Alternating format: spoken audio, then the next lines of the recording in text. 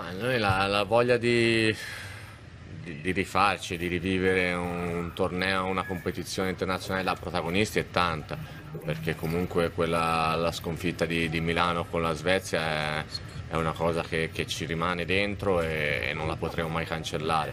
Però credo che in questi anni siamo stati bravi a trasformare magari quella delusione in tanto entusiasmo, in tanta voglia di, di, di, far bene e io sento che questo sentimento non, non c'è solo magari in noi che, la, che, che, l'abbiamo vissuta sul campo ma proprio in tutti i tifosi di, di, questa nazionale. Non avete idea di quante persone, amici, conoscenti nell'ultima settimana si stanno galvanizzando in attesa de, dell'arrivo della nazionale di una manifestazione che manca ormai da cinque anni di viverla così per, per tutta l'Italia. Quindi